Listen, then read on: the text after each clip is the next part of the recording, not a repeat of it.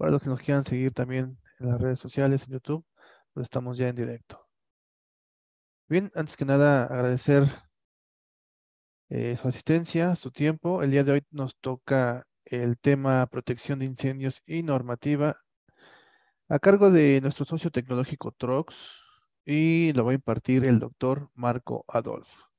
Para ello me gustaría comentarles un poquito de su trayectoria, para que no lo conozcan y puedan conocerlo. Eh, pues el doctor Marco Adolf cuenta con trayectoria en aire acondicionado y desarrollo de tecnología.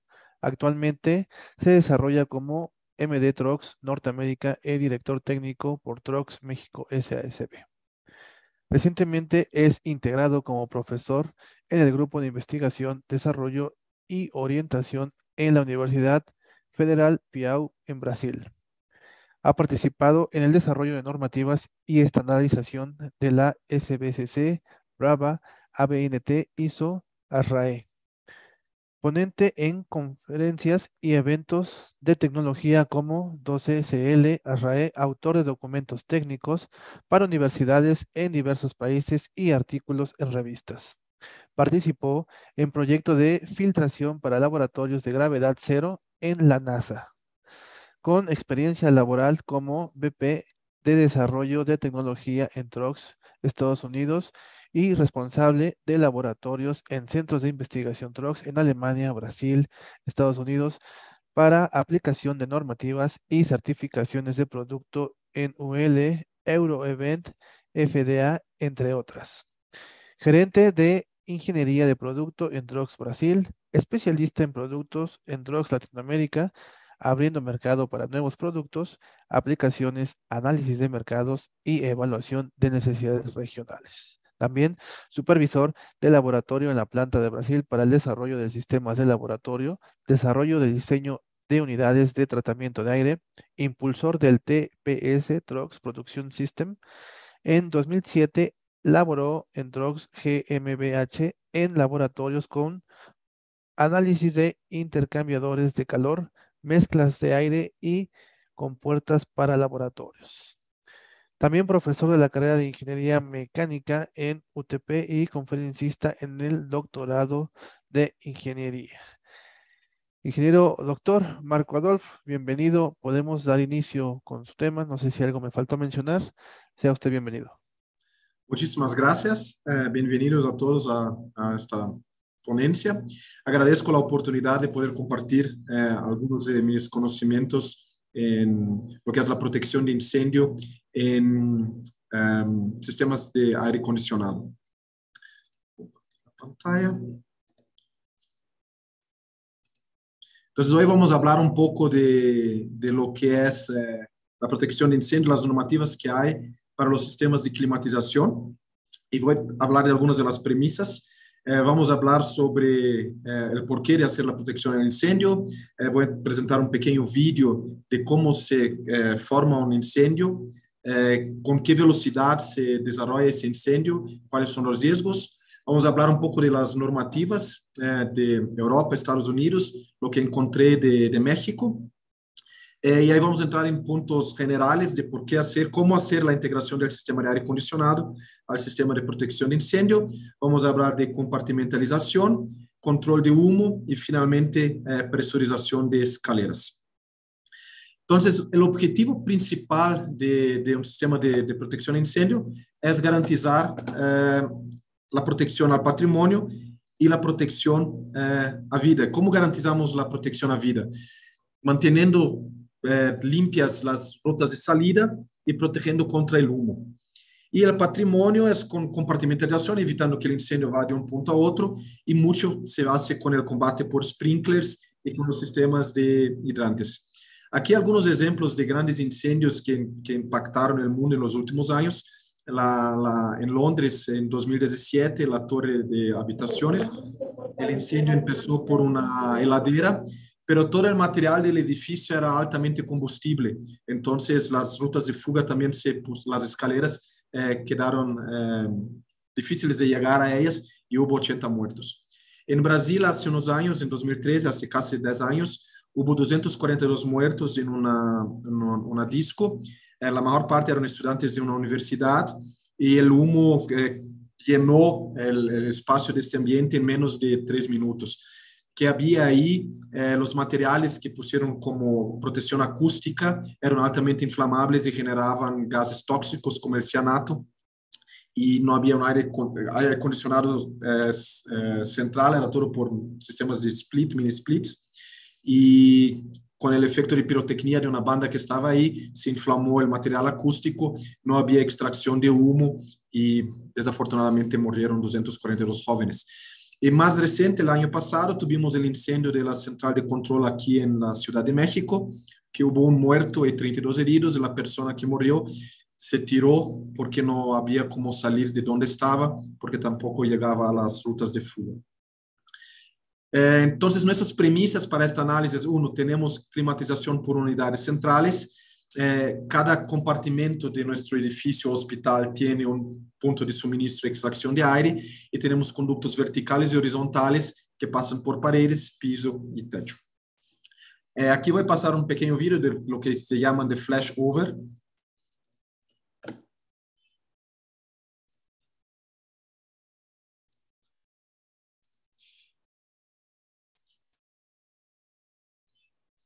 y van a ver como muy rápido, es una simulación, una cámara de test. Coil, acting like a carelessly dropped cigarette, is heating this upholstered cushion, causing smoldering. Smoldering is slow combustion, taking place on the fuel surface. Smoke is present without flame. Smoldering can sometimes go on for hours before developing into flaming combustion. Although smoke develops slowly in this phase, given enough time, it can fill a structure and kill occupants before any significant flaming is present. The fire is now progressing into the flame producing stage. Flaming combustion can only occur when the necessary quantities of heat, fuel, and oxygen are present. Right now, we have a small flame. It is rapidly progressing into a substantial fire. As we noted earlier, the heat from the fire is producing combustible and toxic gases from the burning chair. A smoke detector has been placed just outside the room. The fire has now given off enough smoke to activate the alarm, telling occupants to make an immediate escape. The buoyant nature of the gases released from the burning chair causes the flame to spread upward. Heat from the rising flames quickly ignites the draperies en route to the ceiling. The temperature at the ceiling above the chair is now 570 degrees Fahrenheit, 300 degrees Celsius. If a residential sprinkler had been placed eight feet diagonally from the corner, it would now activate, sounding an alarm and discharging water. Fire damage would be confined to the chair and curtains. The buildup of smoke and its toxic gases has now thickened into a hot, dense cloud in only 70 seconds since the first appearance of flame. This mushrooming cloud of hot, thick smoke and gas begins to act like a space heater, radiating heat downward. The paint and wall finishes, the furniture, paper, fabric, wood, and plastics in the room are beginning to decompose from the blistering heat. And as they decompose, they contribute to the buildup of toxic and flammable gases. The smoke level continues to descend and is now four feet above the floor. The temperature of the floor has reached 212 degrees Fahrenheit, the boiling point of water.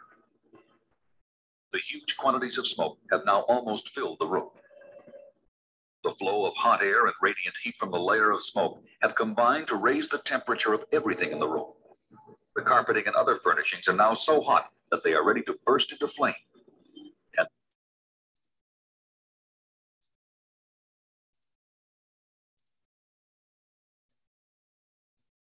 Perdón.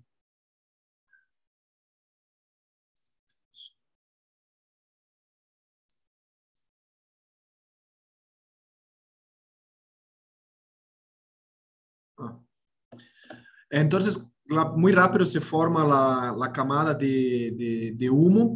Ven que se, muy caliente, eso induce que por irradiación se empiece a incendiar eh, la parte de más y al fin lo que va a pasar en el vídeo, pero desafortunadamente se, se, se falló, eh, hay como una explosión y ahí eh, llamas por todo el lado. Muy crítico entonces es la protección. Eh, ¿Cómo vamos a trabajar con esa cantidad de humo en esos ambientes? Hay que extraerlo y controlar la temperatura. Eso vamos a hablar en la segunda parte de nuestra presentación. Busqué unos documentos de, de, de protección de, o de proyecto de aire acondicionado de México, encontré un documento del IMSS que habla del, del, de la ingeniería de diseño de aire acondicionado, el documento de 1997.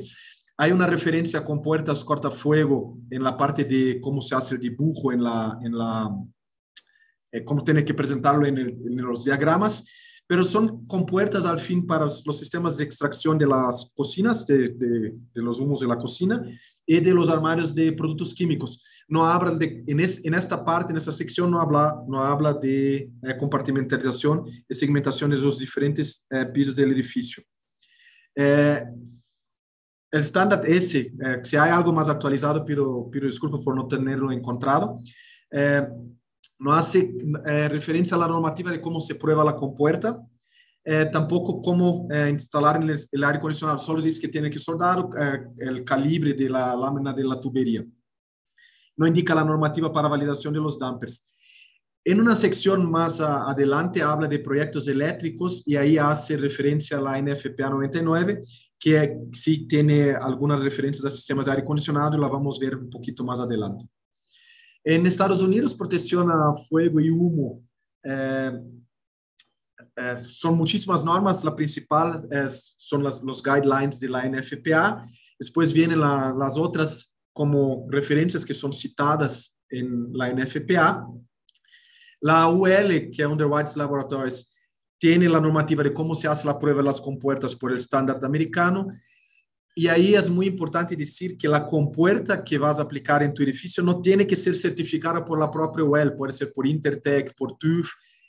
Una cosa es la norma UL y la otra es la certificación. No hay una obligatoriedad de usar eh, como certificadora la propia UL. Eso es algo que genera mucha confusión eh, en, en, los proyectos.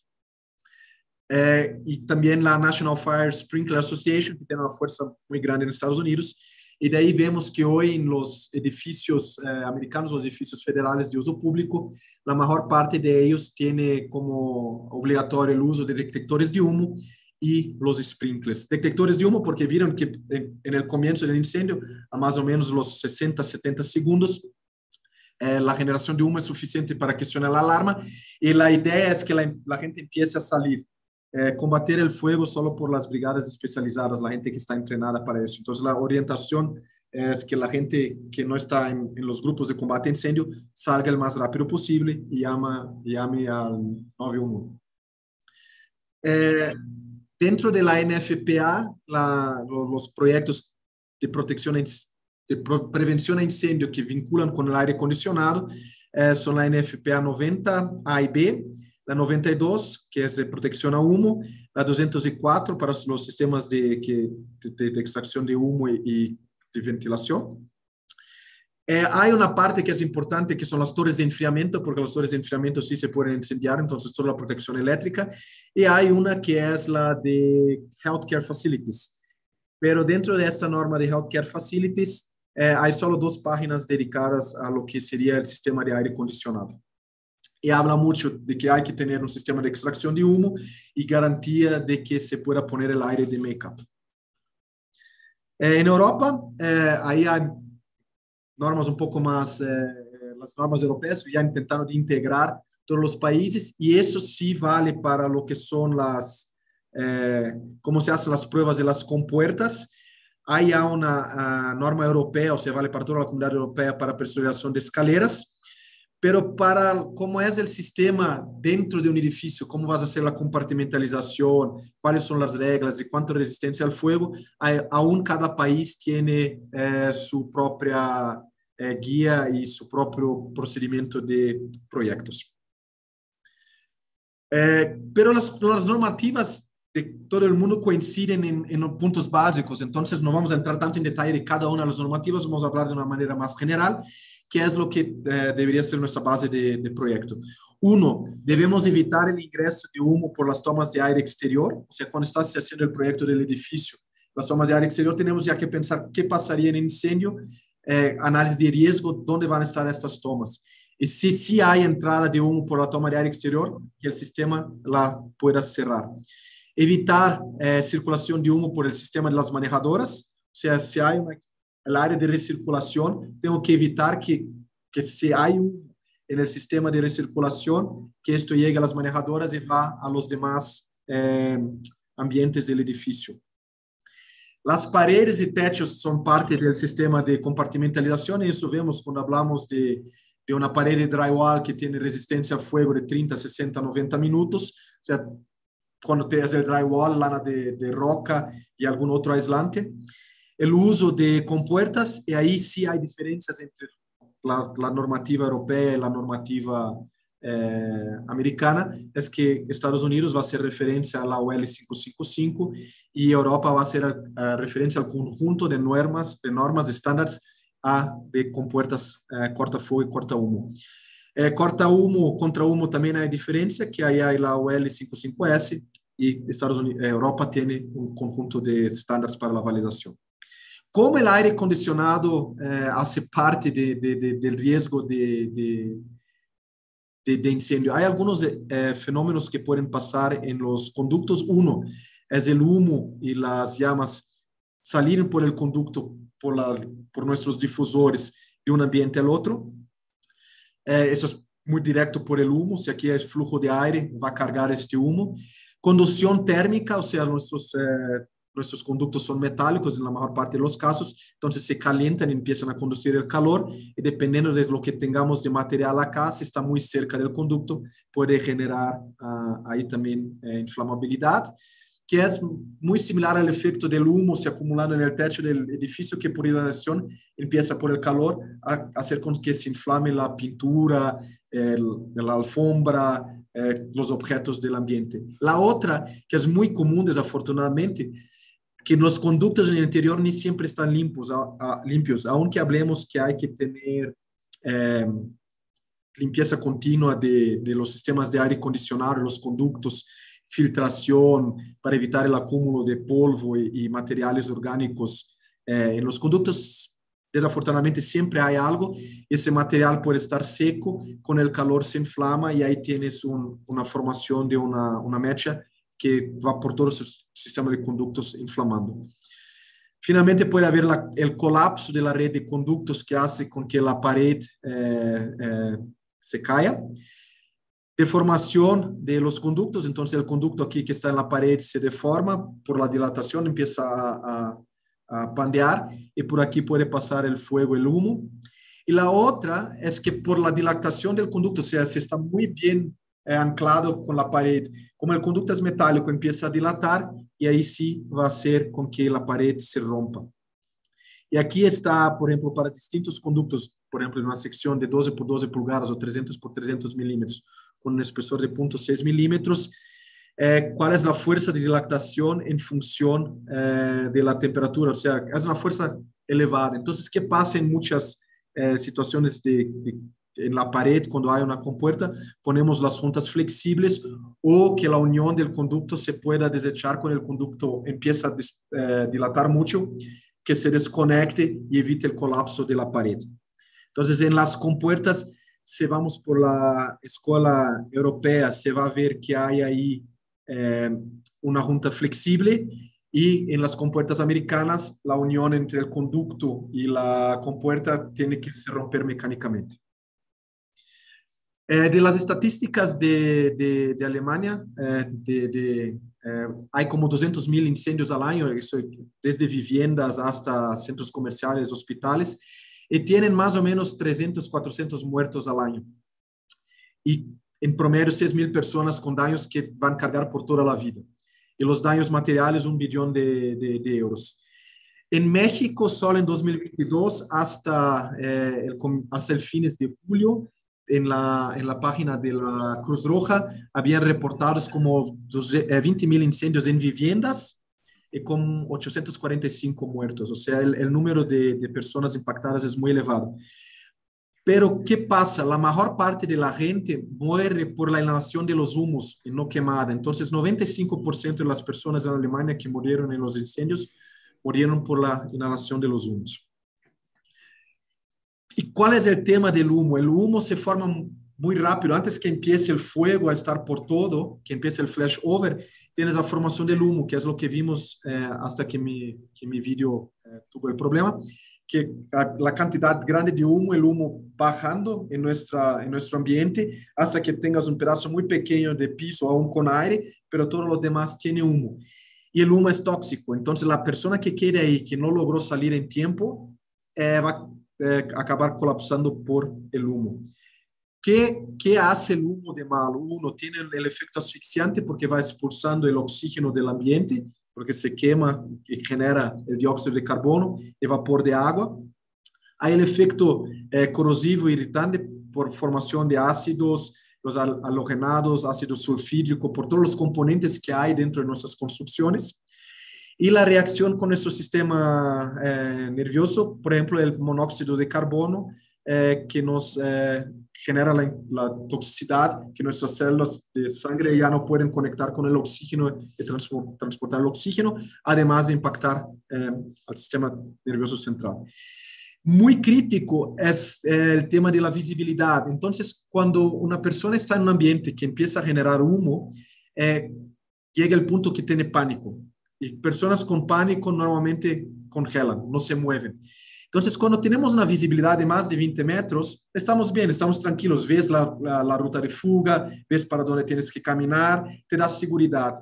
Cuando la visibilidad está entre 10 y 20 metros, ya te pones así como, ¿para dónde voy? Entre 0 y 10 metros, se imagina un ambiente con mucho humo, o una mañana que sales de tu casa y hay fuego, y el fuego está muy intenso y no ves el otro lado de la calle, ya te da miedo, entonces te genera el pánico. Y aquí es, por ejemplo, una imagen de lo que pasaría en una salida de emergencia en el ambiente que teníamos antes con el humo, que ya no ves ni dónde están los puntos de emergencia. Por más brillo que tengan, dependiendo de la formación de humo que hay, eh, no puedes ni ver las rutas de, ver las rutas de salida. Por eso digo lo que dije, repito lo que yo había dicho en el comienzo de la presentación. Cuando empieza el humo, sonó la alarma, hay que salir no hay que intentar de quedar ahí haciendo cosas. Eso dejen para los profesionistas.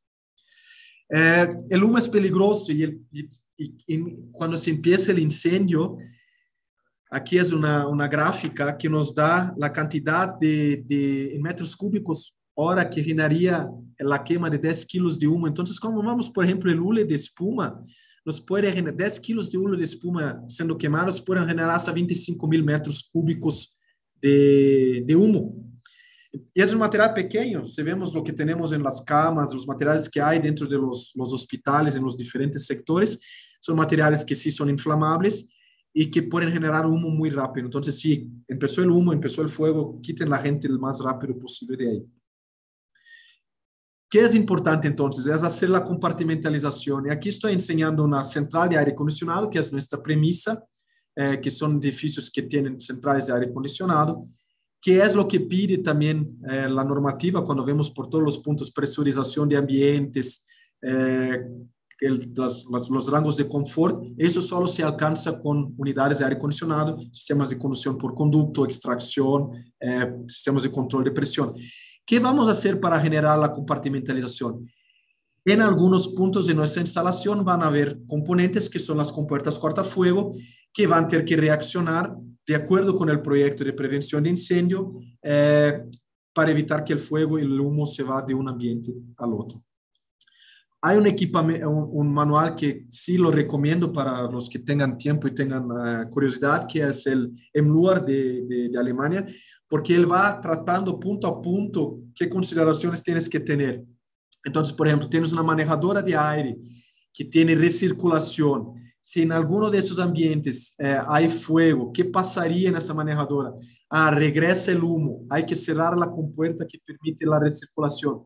Pero si cierro la compuerta que permite la recirculación, tengo que hacer subir mi ventilador de aire exterior, porque tengo que mantener eh, el flujo de aire, el balanceo de aire de mi sistema. Entonces, ¿cómo, cómo tratar todos esos puntos? Y lo va haciendo paso a paso. Es un documento muy interesante.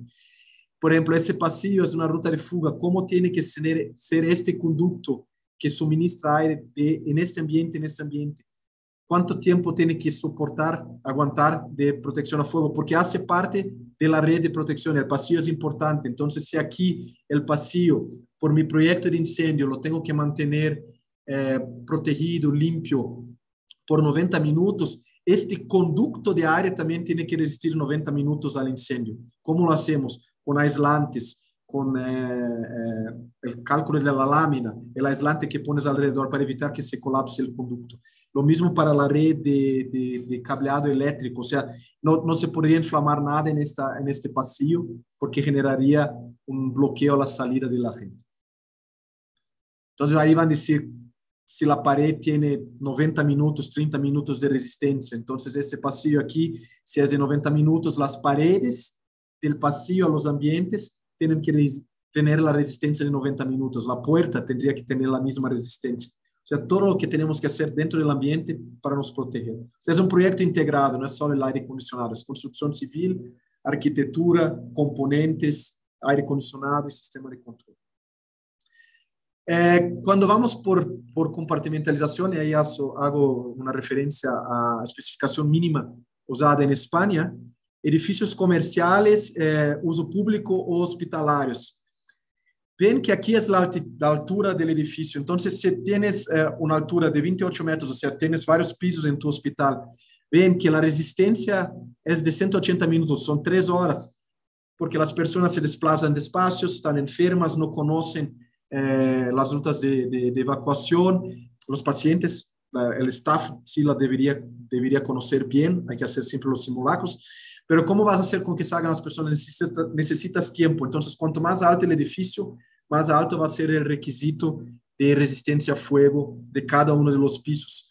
Eh, estás, es un edificio bajo, 90 minutos. En 90 minutos deberíamos ser capaces de eh, sacar toda la gente de dentro de este edificio. Eh, ¿cómo, ¿Cómo es eso? ¿Cómo entra el aire acondicionado? Ahora hablar un poquito más de nuestros sistemas. Entonces tenemos aquí un sistema de conductos empezó el fuego acá y el humo saldría de un ambiente al otro cargado por el sistema de, aire acondicionado. ¿Qué vamos a hacer? Vamos a poner compuertas que se cierran y bloquean eh, para que no salga el humo y no cargue el humo a los otros ambientes. O sea, aquí estoy bloqueando eh, la entrada del ambiente vecino por aquí porque ya hay humo en los conductos. Vamos a ver después cómo las compuertas a reaccionar al humo y cómo vamos a hacer este sistema de control. Eh, las, la normativa europea, entonces, es la 1366 para las, las, compuertas cortafuego y humo y aumento de temperatura. En Estados Unidos vamos a hablar mucho de la UL 555 y la 555S para compuertas contra humo. Y ahí vamos a ver ahora un rato la diferencia entre las dos normativas. ¿Qué va a ser la compuerta? Entonces, la compuerta es un, un, ente que junto con la pared va a ser la división de un lado al otro. Entonces, las compuertas también tienen que estar en la pared.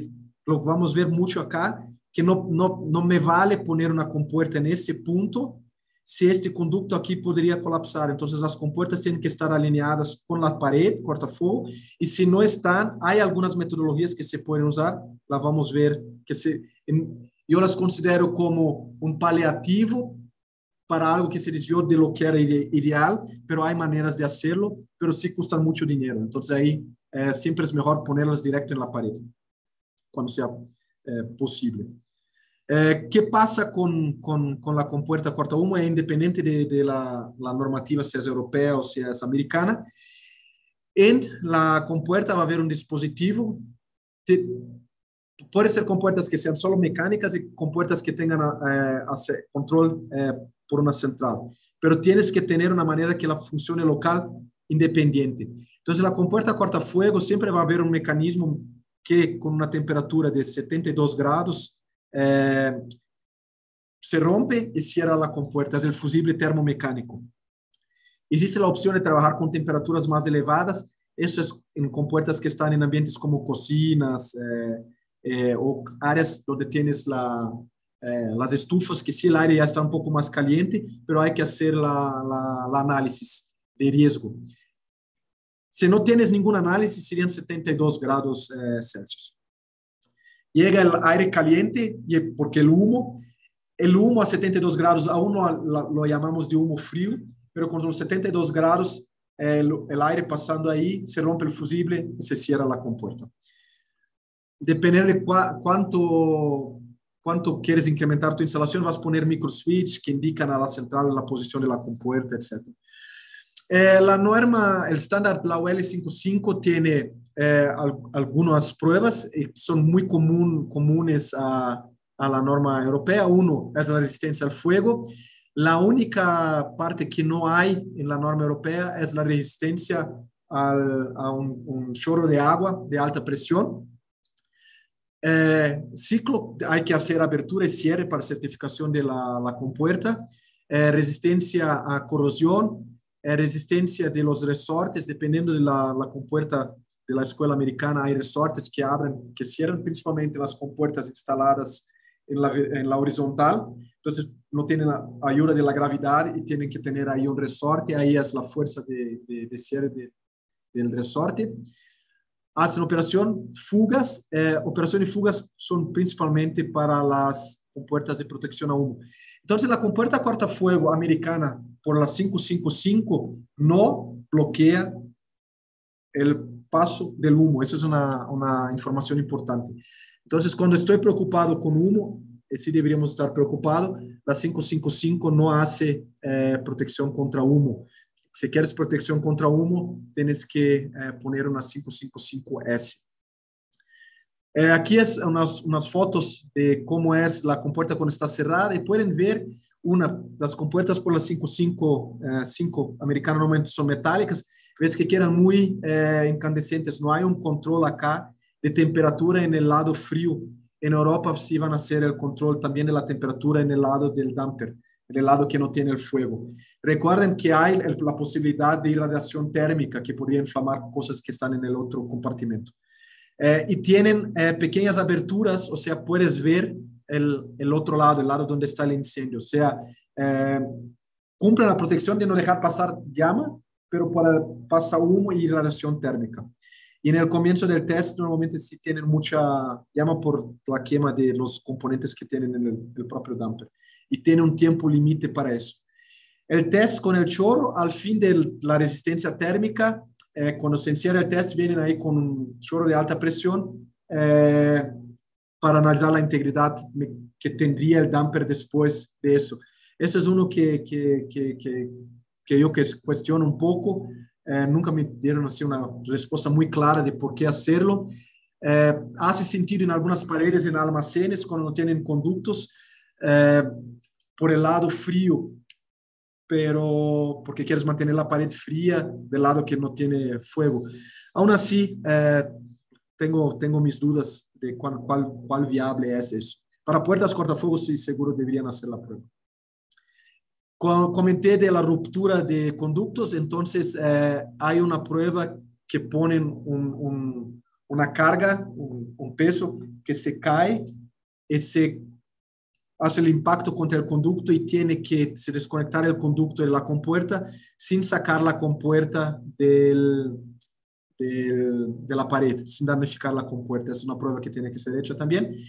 Y hay una cosa de la construcción de las compuertas americanas que tienen que tener eh, un espacio, está en los manuales, que permite la dilatación térmica de la compuerta, es el annular space, pero eso también permitiría eh, que se pase humo. Entonces, eh, cuando es una compuerta de protección a humo, no va a tener esa construcción. Eh, aquí voy a pasar un poquito rápido, después voy a disponibilizar el archivo para los que, que, que, que quieran, pero vean las fendas que permiten que haya en la compuerta hasta 10 milímetros de abertura eh, en las compuertas. Eh, permiten también que se inflamen algunos componentes desde que sean validados con la OL 2043, que es una degeneración de humos. Eso puede ser un tópico para el futuro. Y aquí también permiten, aquí en algunos casos, que la abertura más grande no sea más que 19 milímetros, o sea, es una abertura de casi de una pulgada después de la prueba con el, con el chorro de agua. ¿Cómo es la, la, prueba? La prueba en el horno se hace y es la misma en la norma, normativa europea, entonces aquí ya voy cambiando la normativa europea. Tienes un horno, pones la compuerta en la pared, ¿cómo sería instalado? O sea, la pared tiene que tener la misma construcción sube muy rápido la temperatura. Eso como teste de agresión a la compuerta es bueno, porque lo que pasa en la realidad es que la formación de, de, temperatura sigue una curva un poco distinta en la realidad. Entonces, eso es mucho más agresivo que eso. Pero sigue esta curva un poco lo que es la generación de humo. Entonces, con el humo llegábamos a los 30, 40 segundos como a, a 300 grados. Aquí estaríamos eh, poco cerca también, pero mm, eso, eso, es mucho más agresivo que la realidad. Entonces, la, la, normativa europea y la americana usan la misma curva para generación de calor en la prueba de ensayo. Eh, la, la, normativa pide que la compuerta sea instalada en los dos sentidos y si la quieres validar también para instalación en, en el techo, tienes que hacer la prueba de ella en la posición vertical. Eh, ¿Cómo es el mecanismo de cierre? Si tienes un actuador, tienes que hacer la prueba eh, con el actuador del lado que sería el lado frío y también cuando está expuesto a, al fuego, porque quieres garantizar que independiente del lado que haya el incendio, que la compuerta va a funcionar. Y aquí hay una presión eh, negativa porque también van a verificar cuánto tiene de fuga la compuerta cortafuego. O sea, la cosa del humo tiene a ver con fugas. Ponen en esta sección de conducto varios de, eh, sensores de temperatura, lo que no había en la normativa americana. Aquí hay una presión negativa, vemos cuánto hay de fuga. Y la temperatura máxima que se acepta es un gradiente de 180 grados, o sea, sí va a se calentar, pero 180 grados. En la normativa de la UL 55, como vieron que estaba incandescente y es metal, si tengo 1000 grados en el interior del horno, voy a tener 1000 grados en la superficie de la compuerta. Eh, y aquí, si tengo 1000 grados acá, no puedo tener más que 180 grados del lado que llamamos el lado frío. Eh, van a hacer algunas pruebas en la compuerta. Eh, cuando se cierra, entonces empieza el fuego, hay un tiempo para que se cierre la compuerta, si la compuerta no cierra en el tiempo, falla el test, ya puedes hasta apagar el horno porque no vale más la pena hacer la inversión en la energía y, el tiempo que, que, cuesta hacer la prueba. Eh, ahí vienen con un pedacito de algodón y lo hacen en la envoltoria para ver si se inflama, eh, no puede eh, inflamar. La, cualquier llama que se forme en, eh, en, la compuerta o alrededor del marco no puede eh, durar más que 10 segundos. O sea, si, es, si esto aquí falla, no, no, pasa la prueba de integridad y vuelven también eh, durante el test varias veces a hacer la verificación. Las temperaturas, eso es el aislamiento térmico y la estanqueidad eh, cuánto puede pasar de aire frío y cuánto puede pasar de aire caliente en esa compuerta. Entonces, la compuerta cortafuego europea también es una compuerta corta humo en un único equipo. Aquí tengo un, un, un, un ejemplo de, de, un horno de pruebas de validación para certificación de las compuertas. Y vamos a ver aquí un vídeo eh, del interior de la cámara. Eh, ¿Qué pasa? Obvio, son cámaras que tienen un sistema de refrigeración, pero la idea es poder evaluar eso ayuda en el desarrollo de los productos, cómo se porta eh, la estructura y el damper con el incendio. Eso, es, eso se tornó posible hace como 10, 15 años, cuando surgieron las cámaras que resisten a esas temperaturas tan agresivas. Pero ven que eso es una pared de drywall, entonces a, a, a los 40 minutos, como va colapsando el drywall, el interior del drywall tiene la función también, va desechando humedad, por eso resiste, re, re, tiene esa resistencia al fuego, al calor. La pared, obvio, es no solo una, una lámina de drywall, tiene que tener el aislante térmico en el centro. Vamos a ver un poco cuando empiece a colapsar que se, se, se presenta eh, parte del aislante, pero como colapsa el interior, pero ven que la fijación de la compuerta en la pared tiene que resistir. Entonces, los certificados de las compuertas tienen que presentar cómo se van a instalar esas compuertas.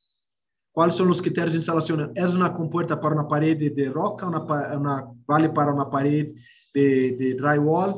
Hay compuertas que son hasta para paredes de madera, obviamente madera tratada para resistencia térmica, pero van a ser como de 30 minutos. ¿Cómo hacer la instalación de esta compuerta? O sea, los manuales de la compuerta tienen que presentar todo eso porque es por el, el, la responsa responsabilidad eh, responsiva aqui um outro vídeo que aqui quero ensinar que das paredes, qualquer que seja, se deformam em direção ao incêndio. Vão ver que aqui vai começar a desplaçar nossa parede em direção ao horno. Ou seja, a parede sofre deformações eh, devido à dilatação da estrutura, empieza a mover a parede e as paredes se movem em direção ao fogo. E é, uma, é um desplazamento razonável Entonces, cuando usamos paredes de drywall, o sea, las, las, las paredes de, de, construcción más sencilla, también hacer mucha fuerza en el momento de la construcción del edificio para que se cumplan las normativas de dónde estarán los marcos. La, el, la distancia entre los marcos no es solo eh, por la dimensión de los paneles, pero también la resistencia al fuego de, la, de esas paredes tiene que ver con cómo estamos haciendo la distribución de la estructura metálica. O sea, eso sí tiene que ser eh, eh, seguido como determina el fabricante del componente. Eh, del fusible termomecánico que yo comenté, normalmente es una pieza de dos bicomponentes, bimateriales. Eh, hay estaño, entonces con la temperatura empieza a, a derretir y se explota la comunicación de los dos, lo que libera los resortes y hace que la compuerta se cierre. Y eso es algo que es validado en la, la prueba. También hay que hacer las inspecciones de las compuertas a cada año y verificar que ese mecanismo esté íntegro que no haya formación de materiales, incrustación de materiales alrededor, y hay que hacer la prueba, hay una manera de simular eh, el desacople del sistema, y hay que hacer la simulación de la compuerta operando. Las compuertas de, europeas van a tener eh, una, una, una junta de llama intumescente, es un material porque tienen que resistir a humo, entonces cuando empieza el calor, mismo con los 72 grados, esto empieza a expandir y cierra la, la, la, la, estructura entre la compuerta y esta lámina. En Europa van a ver que por la normativa que tiene el gradiente de temperatura, las compuertas son con silicatos. ¿Por qué? Porque resisten y evitan la transferencia de calor. Y la estructura metálica, también para no enviar toda la dilatación térmica, tiene toda una construcción. Entonces, de cualquier fabricante europeo de compuertas, cuando lo verifiquen, van a ver que la estructura metálica no es simplemente una, una, un perfil U, van a tener un perfil que hace como un, un laberinto, que es para disminuir la, condición, la conducción térmica eh, y dificultar la transferencia de calor. Van a tener aquí una, una, una yunta de llama para humos fríos, o sea, se cierra la compuerta, eso ya no deja que pasen gases, sube la temperatura, entra en función la intumescente. Obviamente que después del incendio, independiente de la origen de la compuerta, eh, hay que reemplazarla. Eh, yo había comentado que, que la, las compuertas tienen que estar eh, construidas en la pared, ese es el ideal, es la manera más económica, pero si por construcciones del edificio o por lo que pasó eh, no hay manera de hacerlo, sí es posible dejar la pared fuera, eh, la compuerta fuera de la pared, pero hay que poner eh, un material térmico que cumpla la función de la pared, tenga la misma resistencia, o sea, son kits de ensamble especiales. Entonces la compuerta ligeramente desplazada, vean que eso son eh, láminas de blocos de silicato que se ponen para aislar eh, eso. Entonces tu barrera de protección es la pared, ese bloque, el álabe de la compuerta y vuelve a la pared.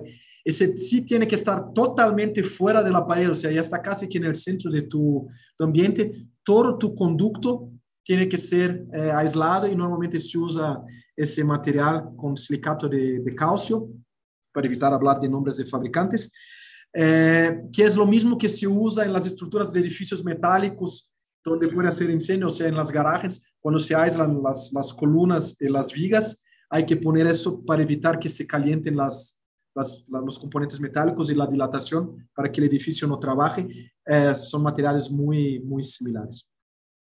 Aquí unos ejemplos, ejemplos de cómo no hacer la instalación.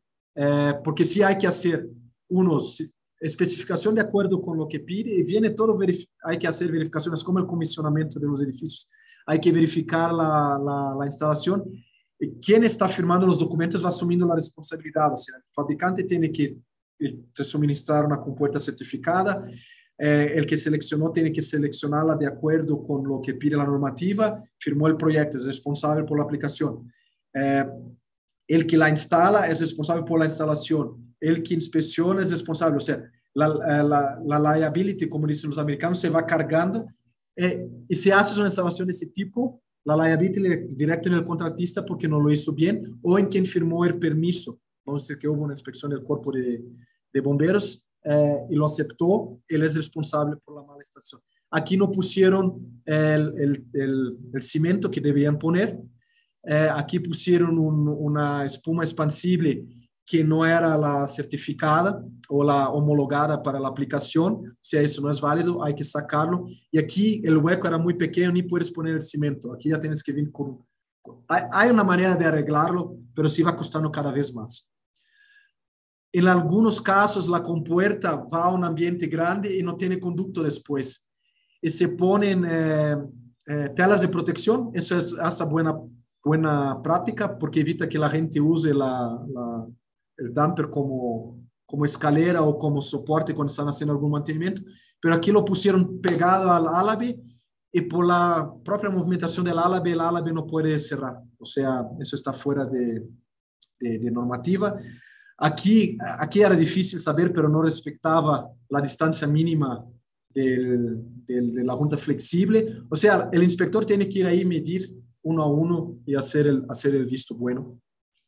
Y este sí es lo que llamo del campeón, porque además de no, no hacerlo bien, pusieron material altamente inflamable en la junta de la compuerta y la pared. O sea, pusieron poliestireno, ese de empaque de, de materiales, solo para que hubiera algo ahí, llegar el inspector y, y de lejos diera el visto bueno, pero el tipo sí llegó y lo verificó y vio que el material no era aceptable. Ahora vamos a entrar, ya sabemos cómo son las compuertas, ya sabemos que podemos retener el, fuego de un ambiente al otro. ¿Cómo vamos a hacer con el control de humo? El humo es más controlar temperatura extracción. Como el humo tiene temperatura caliente, temperatura elevada y va generando más inflamación, la idea es sacar el humo porque voy sacando calor. Entonces, eh, se puede hacer de distintas maneras, con cortinas, con ventiladores, con extractores dedicados, un sistema dedicado la extracción de humo, ese es la, el estado de la arte, o sea, tienes un sistema de climatización y un otro sistema que está en stand-by, que es solo para extracción de humo. Lo prendes y va a abrir eh, dampers en los ambientes que tienen generación de humo y ahí con una central ya más, eh, más, más de control un poco más robusta. Eh, ¿Cuál es el objetivo? Mantener las líneas de, de acceso y evacuación libres, eh, facilitar el, el, las operaciones de lucha contra incendio, porque también tiene que entrar a alguien para combatir el incendio, son los bomberos, tienen, aunque usen el, el, sistema de protección, si no ven lo que están haciendo, no pueden uh, uh, trabajar. El control de carga térmica y evitar el flashover, se fue sacando el calor y el humo, eh, extiende el tiempo antes que pase el, el flashover y disminuir también el efecto de dilatación del edificio, porque se fue sacando el calor, la carga térmica, eh, evita los daños a la estructura. Eh, vez, tenemos un, un, sistema, empieza con fuego lento, mucha generación de humo, combustión eh, súbita, que es el flash over, y después aquí el incendio plenamente desarrollado. Si tengo extracción de humo, voy extendiendo eso, voy desplazando el efecto. Tengo más tiempo para hacer eh, la protección y evacuación de la gente y para que las, la, las brigadas de combate puedan trabajar. ¿Cómo podemos hacer extracción de, de, de humo? Una, es usando el sistema de extracción de las manejadoras, pero ahí eh, hay que tener un ventilador dedicado de retorno. El ventilador tiene que ser certificado para temperaturas y tener compuertas, eh, eh, dampers que aíslen eh, em, y eviten que, que se regrese eh, el humo a la manejadora, porque si regresa a la manejadora, si eso no se cierra o lleva a una extracción externa, eso va a circular por todo el ambiente. De hecho, quiero que este humo salga del edificio. Entonces, acá lo que yo pondría, cierro el suministro, ya no quiero que entre aire acá y empiezo a sacar el aire en el sistema de extracción. Y tengo estas compuertas en otros ambientes cerradas. Son dampers distintos de los cortafuegos y voy a decir por qué. Porque esos tienen que ser modulares, tienen que trabajar. Pero ideal, ideal sería tener un sistema con un shaft dedicado de extracción, con un ventilador dedicado eh, unas tomas en, los puntos del edificio con compuertas que yo pueda abrir y cerrar aún durante el, incendio por un control en central donde las brigadas de incendio lo puedan eh, operar. Entonces aquí empieza el incendio, estas están cerradas, esta se abre, se prende ese ventilador y se empieza a extraer el humo directo a la atmósfera. El, teóricamente el sistema de climatización de los demás podría seguir operando. Requisitos especiales es que si todo el sistema tiene que estar operando en menos de un minuto, recuerden que la formación de humo es muy grande en el primer eh, minuto. Eh, en la posición abierta y cerrada, este damper tiene que trabajar como si fuera una compuerta eh, cortafuegos, o sea, cerrar bien. Y aquí en Estados Unidos ya serían automáticamente con puertas eh, corta humo eh, que tienen que cerrar, que son más robustas que las 5555 normales. Eh, tienen dos posiciones de seguridad, abierta y cerrada. Eh, tienen que tener la resistencia a fuego, como si fuera una compuerta corta fuego, pero estas ya no van a tener el dispositivo eh, mecánico, termomecánico. Estas sí van a tener que tener un actuador y las prendo por una central de combate a incendio. Aquí sí hay que tener eh, una automatización, no puede ser un sistema eh, desacoplado eh, que funcione autónomo. O sea, sí tengo que tener un actuador, yo tengo que enviar el comando empiece a operar en función de detector de humo o un botón que un operador eh, de sistema de, de, la, brigada de seguridad eh, tenga que trabajar. Y la compuerta tiene que seguir operando, a, que pueda abrir y cerrar por un tiempo. Y eso es hecho en la prueba de certificación. La certificación tiene por temperaturas, como estamos extrayendo el humo, la temperatura no sube tan rápido. Entonces, y como estamos abriendo y cerrando el damper, en algún momento el horno estabiliza. Entonces, tiene algunas curvas. Recomiendo la lectura después de la norma, la normativa. Lo mismo vale para, para la 555S eh, americana. Lo certificas para, por ejemplo, 300 grados y 600 grados y vamos a ver ahora cómo se hace el ensayo. Entonces, en, hay que hacer ciclos de 105 segundos y tienes que hacer por lo menos 12 ciclos de abertura y cierre de la compuerta. Sea, las compuertas corta humo, eh, de protección a humo, de extracción a humo, son mucho más robustas eh, en el sentido de operación eh, que las compuertas corta fuego.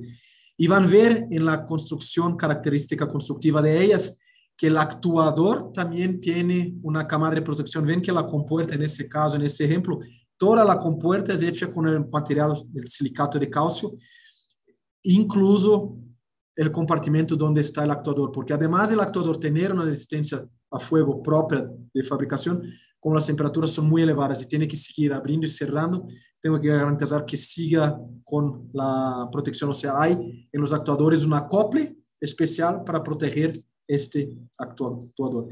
Entonces, cuando hablamos de control de humo, sí va a haber una, una central de control y ahí puedes usar el protocolo Modbus, BACnet, lo que quieras, un, hasta un, un, un, privado. Yo siempre recomiendo que se use algún protocolo abierto porque puedes añadir otros componentes y no quedas atrapado a un único suministrador. Entonces, corta humo es un sistema independiente, el sistema de control de humo va a ser independiente del de aire acondicionado. Eso sería el ideal y creo que es lo que usamos en, es, es lo que se recomienda en los grandes edificios eh, cuando tienes más de 28 metros de altura y quieres garantizar la salida de la gente. Ahora eh, vamos a empezar a hablar del el otro mecanismo importante y que desafortunadamente no hay aún una normativa clara en México de cómo se hacer, que es presurización y rutas de salida. Entonces, el concepto básico, aquí hablando de manera general, no vamos a hablar, en, en, por lo menos en la etapa inicial, de ninguna normativa, pero vamos a hablar de conceptos. Si tengo una escalera y tengo una otra escalera en otro punto que sirva de ruta de fuga, podrías trabajar eh, bien, pero tienes dos opciones de salida. Tienes una escalera en tu edificio, pero podrías llegar, y el cuerpo de bomberos puede llegar rápido con la escala Lamagiros y sacar a la gente, estarías bien pero aquí en edificios elevados ya estás limitado porque eso no va hasta más de 40, 50 metros. Tienes una escalera interna y una escalera externa. Eso es muy común en los edificios más antiguos de, de Estados Unidos, que vemos en las películas, la escalera afuera en los edificios residenciales. Estarías bien. Si no tienes una ruta alternativa de salida, tienes que hacer en tu sistema de escaleras la presurización. ¿Qué es la presurización? La presurización es establecer un gradiente para que se pase el incendio, el humo que se genera de este, este compartimento no venga en dirección a donde están las escaleras. O sea, solo tener la escalera, si la escalera está abierta para el medio ambiente, bien, es la escalera exterior que teníamos antes. Pero si no lo tienes, está cerrada, la escalera tiene que ser presurizada. ¿Por qué? Porque es la única manera que, que hay de evitar que el humo salga de aquí y venga para acá. Entonces, ¿cómo se hace?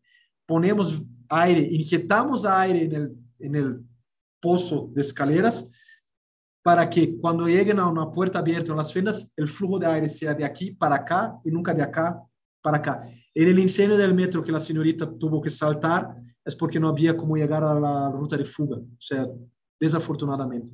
Entonces, establecemos el gradiente de presión de la escalera para los ambientes, manteniendo las escaleras libres de humo, humo las rutas de evacuación limpia y facilitar la entrada de los bomberos, porque los bomberos van a tener que usar las escaleras, entonces siempre tienen que estar libres de humo.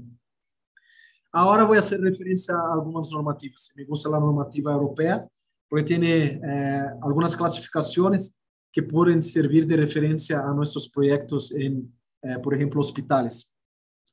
Clase A, eh, ocupantes de manera segura, hay compartimentación, el combate es en sitio, o sea, si tienes gente que lo puede apagar ahí, no, no tienes planeado hacer evacuación.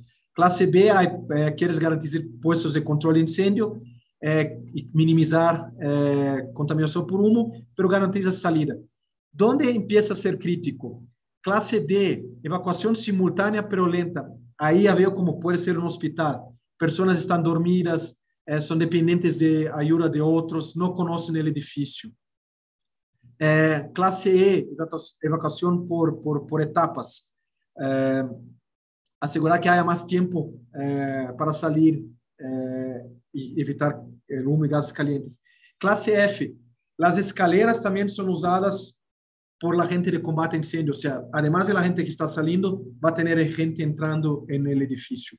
Y muchas puertas estarán abiertas porque está la gente haciendo el combate, vean los bomberos con las, las, man, las mangueras y los equipos para entrar en los ambientes, o sea, la puerta no va a cerrar completamente.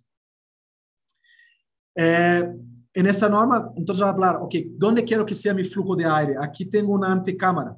Entonces, viene el aire del, de la escalera o del shaft del ventilador, de aquí para acá, y de aquí para el ambiente. O sea, aquí siempre va a tener una presión más elevada que esta, y más este, esta antecámara más baja que acá. O sea, garantizar, es como control, cuando hacemos los proyectos de laboratorios, la escalera de presiones de los laboratorios, que hay muchos en los hospitales, de, de, cuando hacemos las análisis clínicas y la, la parte de manipulación de medicamentos, es el mismo concepto.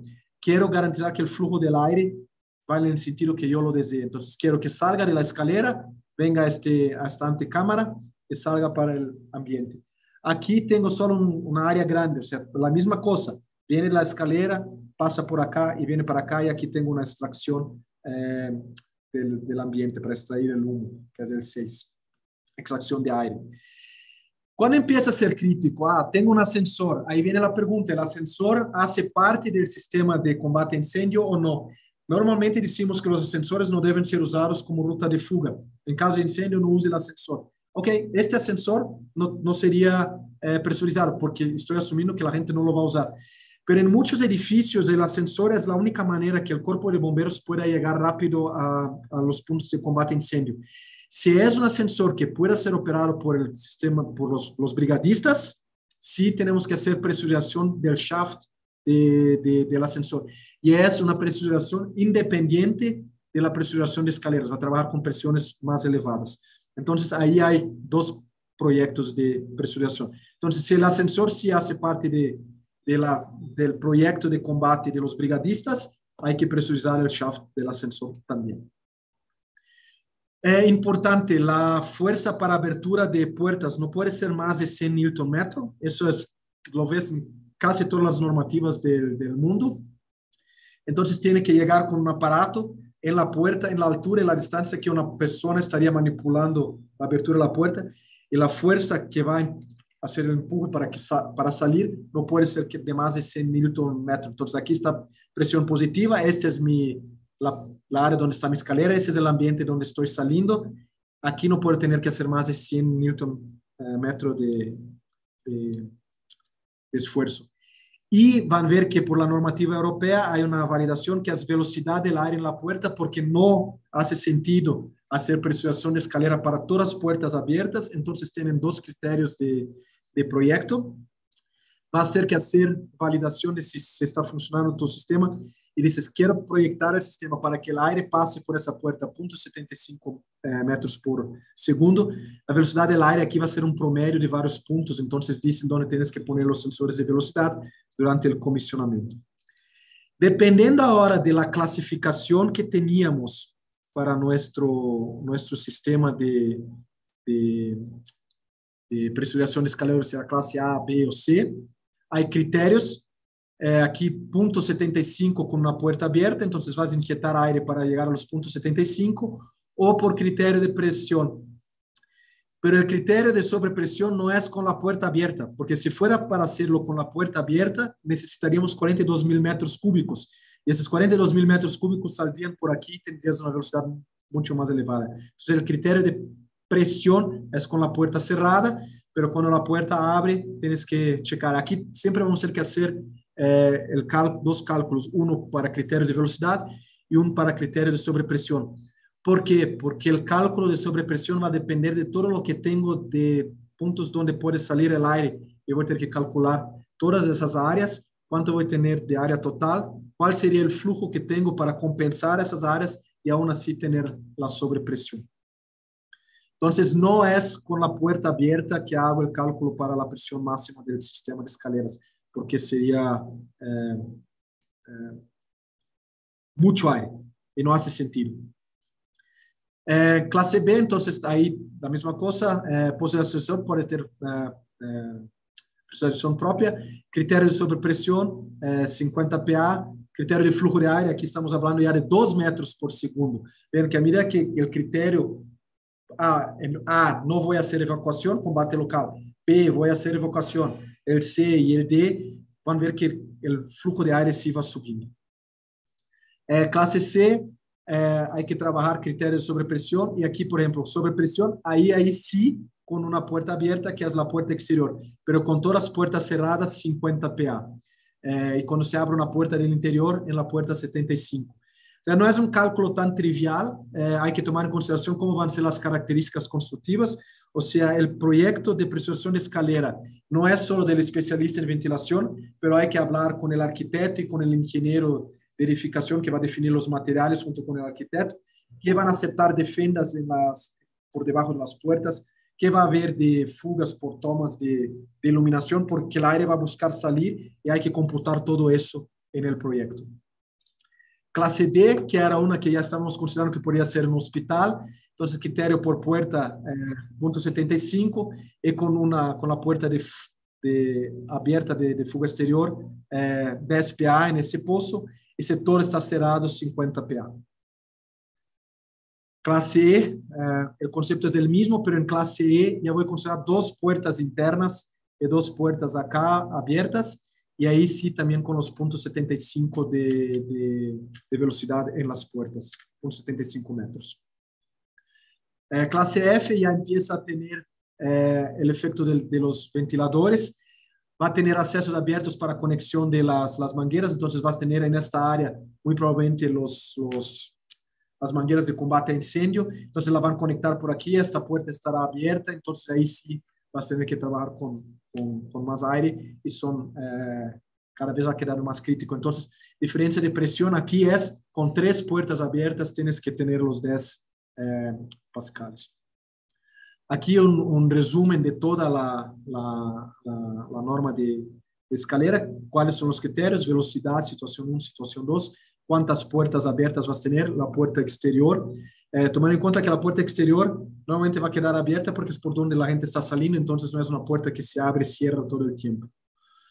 Eh, criterio de presión, entonces eh, entre el pozo del ascensor y el alojamiento, entonces la clase B y la F, 50 PA de diferencia, eh, diferencia con una puerta abierta de SPA eh, entre el vestíbulo y el, el, el, ambiente. O sea, hay muchos criterios, me encanta la, la, normativa europea porque además es muy casi que académica en el sentido de cómo hacer el, el proyecto y el cálculo. O sea, nos dan una buena ruta para eh, hacer el, el proyecto del sistema.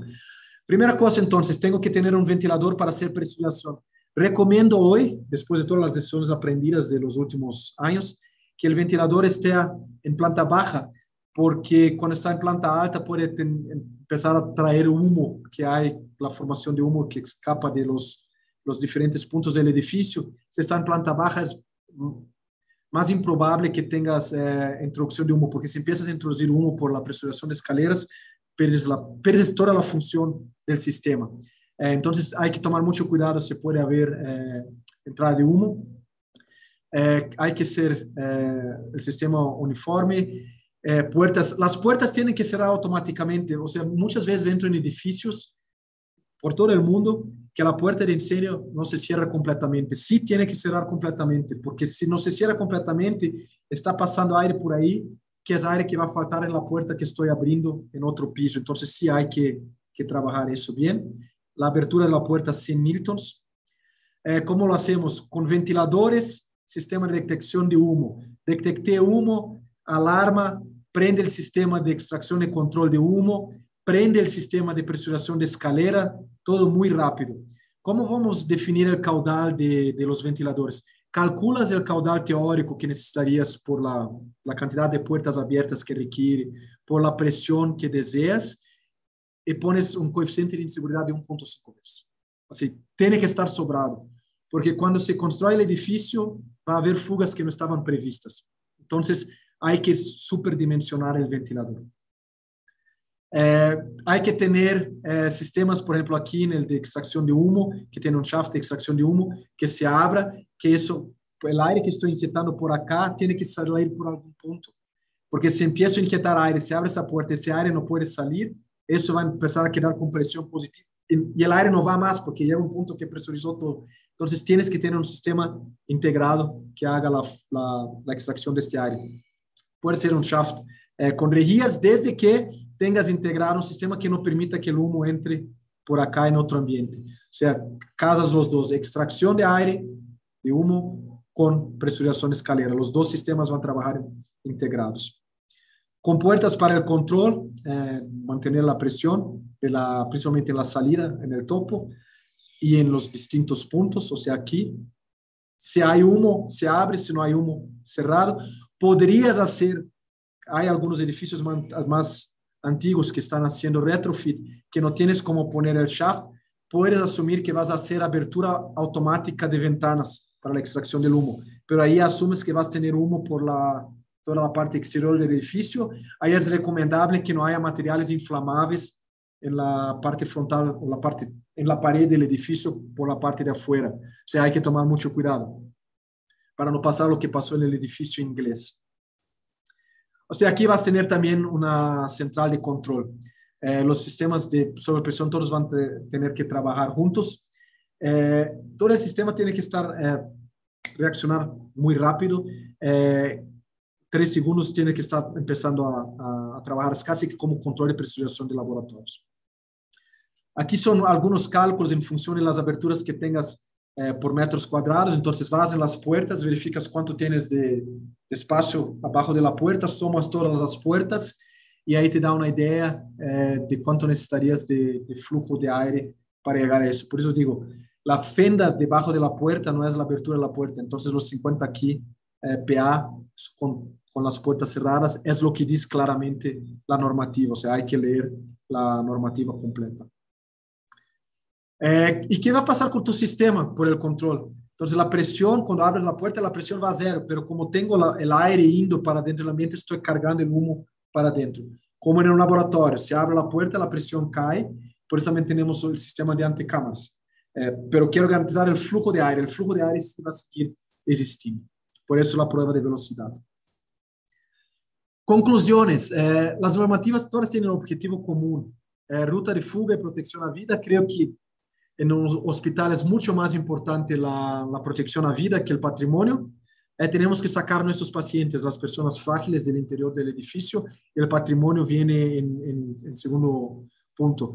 En Europa hay mucha, mucha preocupación del humo, eh, hasta más que el fuego, y eso viene por, por, un incendio que pasó en el aeropuerto de Düsseldorf en los años 90, o sea, que impactó mucho a ellos, porque las personas mueren por el humo que se salió por toda la parte común del, del aeropuerto y no había llama, pero el humo se formó muy rápido. Entonces, hacer la extracción del humo.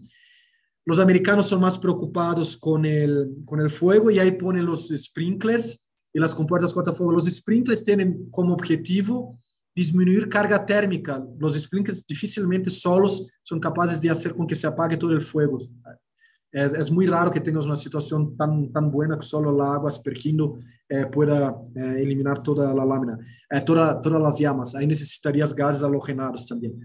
Eh, pero disminuye la carga térmica, que es un punto crítico. O sea, ahí trabaja junto con lo que los europeos hacen con la, la extracción de, de, de, humos. Y ahí sí la normativa de protección a incendio de, de, de LIMS tiene la parte de los sprinklers bien aclarada pero hay que complementar con extracción de humo eh, en la próxima revisión que puedan ser el estándar. La compartimentalización va a depender mucho del, de las cargas térmicas de incendio. Hay algunas guías en las NOM mexicanas de cómo hacerlo, eh, pero no encontré nada específico para hospitales. El sistema de HVAC tiene que estar integrado con el sistema de control, extracción, de control de temperatura, extracción de humos y presurización de escaleras eh, o sea, creo que para el futuro es mucho importante, eh, y eso en toda Latinoamérica, de verdad en la mejor parte del mundo, eh, la integración más fuerte entre los grupos de aire acondicionado y los grupos que trabajan la protección de incendio. Aún somos un poco, poco, poco débiles en eso, no, no hay una integración tan fuerte, hay que trabajar más en conjunto. Eh, no es solo aire acondicionado, control de temperatura, no es solo protección de incendio, sprinklers detector de humo. Los dos integrados pueden ayudar a, a, disminuir los daños y proteger más a la gente. Presurización de escaleras en edificios elevados es fundamental. Cuando veo todos esos rasgacielos por el mundo que no tienen eh, aún presurización de escalera, los edificios más antiguos, los más nuevos ya, ya están haciendo así, pero hay que pensar ya en retrofit de los edificios antiguos, más viejos, para eh, eh, que sea segura la ruta de fuga, que por veces eh, yo, yo rento un departamento cuando estoy en, en, en, México y el edificio no tiene escalera presurizada y además que la escalera ya da directo al, al hall de todos los departamentos, todas paredes de vidrio, o sea, hasta como ruta de fuga, creo que está contra todas las normativas. Eh, cuando hay un temblor ya no sabes si vas porque se, se rompen los vidrios y todo eso. Entonces, en un incendio sería aún peor. Eh, no nos limitamos solo a las normativas locales, porque desafortunadamente, si, si, vamos por el mínimo, cuando no hay normativa, no hay que hacer nada, pero la normativa no lo quiere. Eh, pero pelear un poco más con los, con los dueños de los, o lo, y los que van a operar el edificio, de los beneficios de, de invertir en algo que esperamos nunca tener que usar, pero que el momento que tengamos que usar va a disminuir mucho el daño y la reputación. Y la, al fin la gente habla de dinero, entonces el riesgo de la imagen, el, por veces hay que hablar al lenguaje del inversionista. ¿Cuál es el riesgo a tu reputación? Se mueren 200 personas en tu edificio. Eso no tiene precio. Entonces, eh, por veces eh, la inversión en sistemas de protección es muy difícil de, de, de hacerla cuando no hay normativa, porque la gente dice, ¿por qué voy a invertir en algo que que la normativa no me pide, eh, ahí voy al revés. ¿Por qué no invertir en algo que si el día que pase algo te vaya a dañar tanto que nunca más vas a poder invertir? O sea, que te puede llevar hasta a, a cárcel porque tenías conocimiento de que había algo, alguna otra normativa, alguna otra guideline eh, que podría eh, proteger. En algunos países la legislación, los americanos también tienen eso, que si por tu formación tenías conocimiento de que había algo mejor y no lo aplicaste, te pueden demandar. O sea, eh, intenten hacer más de lo que pide el mínimo. Eh, la vida no tiene precio, eh, entonces, por favor, eva ¿cómo evaluar la vida en relación al costo de, de, de, de, la inversión en un sistema de presurización de escaleras y detección de humos, sprinklers, lo que sea? Tener mucho espíritu crítico con la normativa. Eh, yo digo, sí, hay que tener normativa, pero también la normativa hay que interpretarla y por veces las normativas tienen cosas que no hacen sentido tan claro, o sea, cuestionar a los, a los órganos que ponen la normativa y preguntarle el porqué de las cosas, eh, que justifiquen, porque puedes ir un poco más allá de lo que dice la normativa. Eh, y si tienes un sistema, eso es creo que es el punto más importante, porque podemos diseñar bien el sistema, integramos el aire acondicionado, seguimos la normativa, pensamos, buscamos el estado de la arte, el inversionista lo puso, pero si nuestras brigadas, si la gente responsable por el edificio no la sabe operar, el sistema no sirve para nada. Entonces, hacer las pruebas eh, semestrales del sistema, mantener capacitada a la gente, valorizar a la gente que, que, que tiene que hacerlo, porque a, alguien tiene que presionar el botón que va a cerrar una compuerta que ya se abrió de humo automáticamente por una decisión, por el estatus del edificio. O sea, tener todo el plan de cómo va a operar el sistema y conocerlo bien. Eh, termino por aquí. Eh, quiero, por, antes, a, a, a, dejo la frase de un compañero mío, que la seguridad no es juego de niños. Eh, agradecimientos a mis compañeros de, de trabajo, que hace muchos años me, me enseñan y me, me discuten mucho el tema. Uno es eh, Javier de Trox España, Martin Mosters y Michael Brufman, que son de, de Alemania. Eh, el día que me pregunten temas de escaleras de, de, incendios, son las personas que voy a involucrar, principalmente a Michael Bushman y a, a ingeniera Ingrid Villamata, que uno me puso el reto el último lunes de hacer esta presentación. Y, y que es una de las personas que, que viene trabajando junto a, a mi SAC eh, por la normativa para que conozcamos más y eh, que trabajemos más integrados en las distintas disciplinas de proyectos de hospitales, desde el eléctrico hasta la, el ingeniero, la parte eléctrica hasta el ingeniero que hace la protección del incendio, al, al, al, que define cómo va a ser la operación de todo, la integración de todo eso. Y ahí sí, un agradecimiento también especial a, a mi SAC, que viene trabajando fuerte, tener más eh, integración en ese sentido. Y dejo eh, mi contacto. Después voy a dejar la presentación disponible con a SAC para los que tengan interés en tenerla, para que la, la enviemos. Y también algunos links para cómo son hechas las pruebas de las compuertas. Y muchas gracias por el tiempo y la paciencia, porque sé que ya pasé el tiempo por lo menos 20 minutos. Gracias por la paciencia de todos. Y dejo para preguntas. Al contrario, ingeniero Marco, eh, siempre un placer, un gusto escuchar esas interesantes ponencias llenas de, tanta información relevante. Este, tenemos por aquí una pregunta. Dice, entiendo que en cuanto a la activación, un cortafuego también reaccionaría a humos fríos. Entonces, la necesidad de que sea antihumos sería por la construcción del damper. Sí, eh, el, damper, independiente de si es la norma europea o la americana, el damper siempre va a tener el, el termofusible. Es algo con un resorte que con una temperatura de 72, 75 grados que llegue ahí, eh, desarma el sistema. Pero la temperatura alta es 72 grados y los, los dampers tienen que abrir con la temperatura baja así. Si está en un sistema de cocina o en la, en la la tintorería del hospital que tiene ya temperaturas más elevadas, se puede hacer la evaluación de riesgo para que en el, en, en, por lo menos en el damper de, de, de, extracción del aire del ambiente, trabajar con una temperatura más elevada, porque si no queda desarmando todo el tiempo por el calor localizado que hay. No es humo, pero hay que hacer la, la, la, la evaluación. Pero sí es, hace parte de la característica constructiva del damper cortafuego.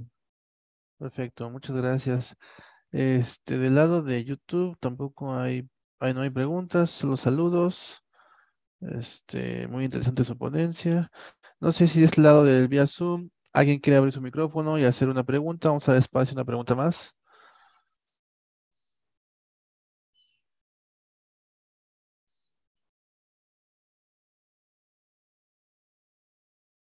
Mm. Dice aquí otro. En caso de ductos entre plafón y sin bardas, ¿cómo sería la instalación de la compuerta? De, de un, de, del plafón, se, se, va de un piso a otro, vas a tener una estructura eh, que sea resistente al fuego. No sé si entendí bien la pregunta. Si, si la, la, el damper tiene que estar lo que serían entre las paredes rígidas o el techo y piso rígido del ambiente. Si es solo el plafón y el conducto está pasando ahí, vas a poner tu compuerta cortafuego en la pared. O sea, va con el conducto todo por sobre el plafón, llega a la pared, tiene tu compuerta y ahí sí sale. No sé si entendí bien la pregunta. Ok. Este, creo que sí. Eh, son, no hay más preguntas.